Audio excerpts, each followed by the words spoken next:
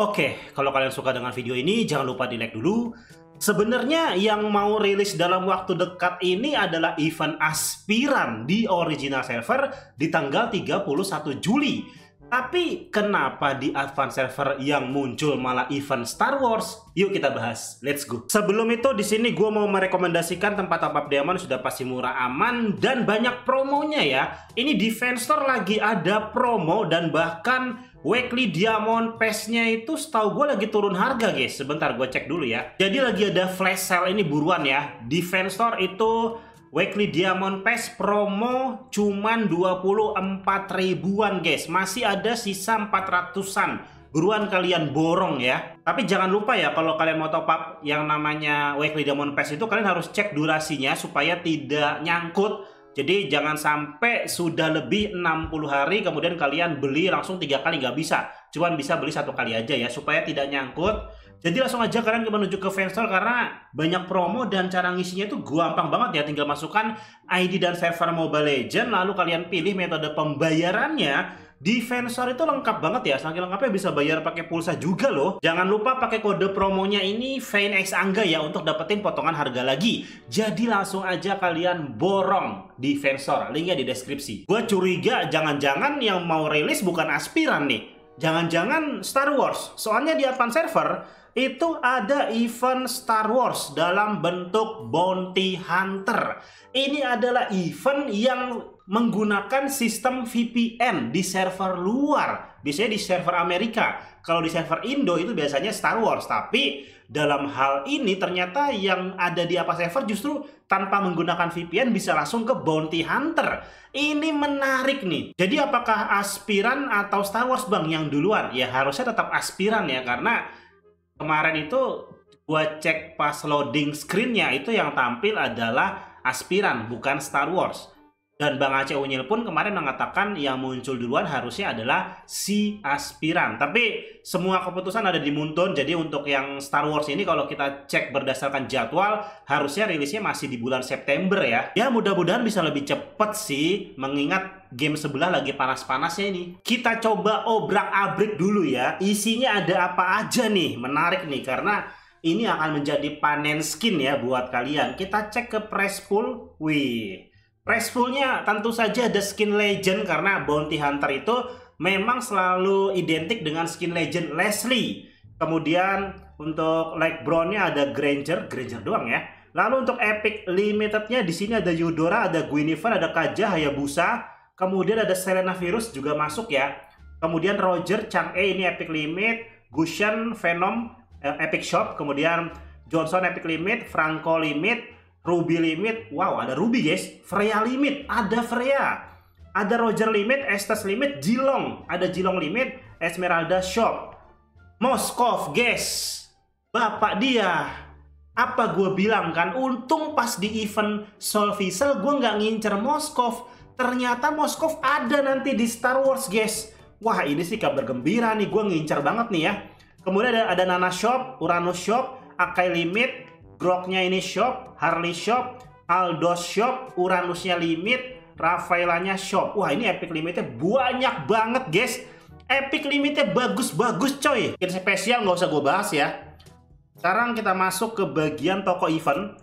Di sini ada sebentar. Jadi perbedaan Bounty Hunter dengan Star Wars ini sebenarnya berbeda tapi apa ya bounty hunter selalu muncul ketika Star Wars muncul. Bedanya kalau bounty hunter itu biasanya di server luar sedangkan yang Star Wars di server Indonesia. Nah pertanyaannya apakah nanti yang akan ada di original server ini yang Star Wars atau yang bounty hunter? Mengingat perbedaannya jelas kalau di bounty hunter tidak ada yang namanya skin Star Wars. Di bounty hunter itu apa ya ibaratnya background utamanya adalah Leslie dan juga Selena Virus yang menurut gue sangat disayangkan ya kalau nggak ada Star Wars ya. Tapi ya mudah-mudahan nanti yang versi kita ada Star Wars-nya ya.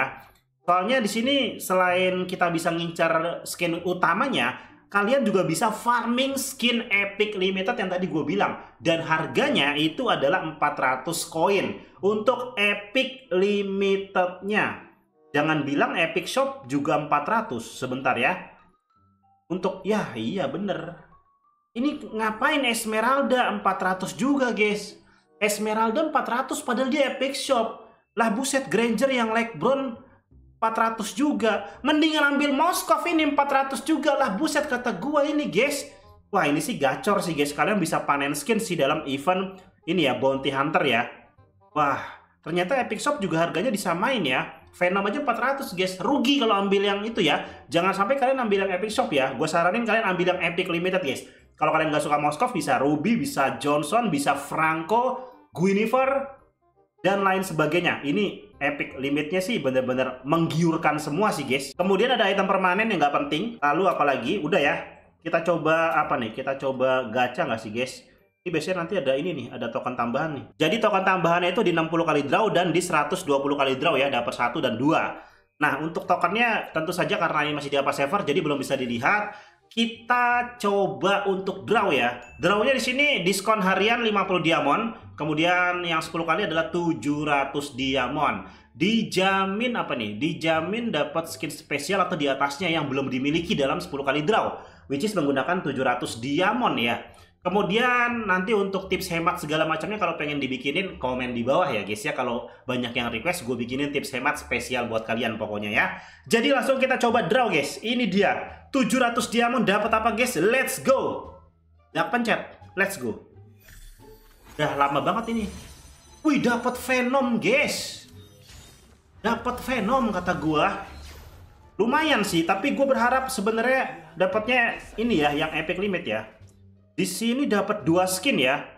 Oke, dapat dua skin dan dapat total 157 bounty hunter dalam 10 kali draw. Wow. 10 kali draw dapatnya 100 lebih ya.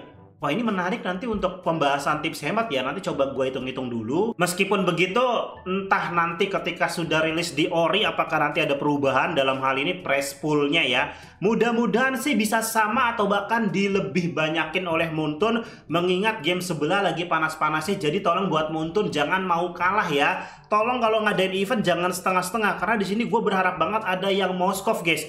Gue ngincer banget yang namanya Moskov Epic Limited dari tahun 2001 ya. Udah lama banget gue ngincar skin ini karena memang gue suka banget guys. Jadi mudah-mudahan nanti bisa kita eksekusi menggunakan tips hemat. Dan tentu saja juga nanti akan ada tips hemat buat dapetin skin legend Leslie dan lain sebagainya. Pokoknya komen di bawah deh kalian mau bahas tips hemat untuk dapetin skin yang mana dulu. Nanti pokoknya gue bikinin buat kalian semua ya. Jadi kita jangan menggunakan diamond yang banyak. Kita harus menggunakan tips hemat supaya kita untung tidak rugi. Itu aja untuk pembahasan kali ini sedikit banyak yang bisa gue sampaikan ya. Jadi semoga video ini bermanfaat buat kalian semua.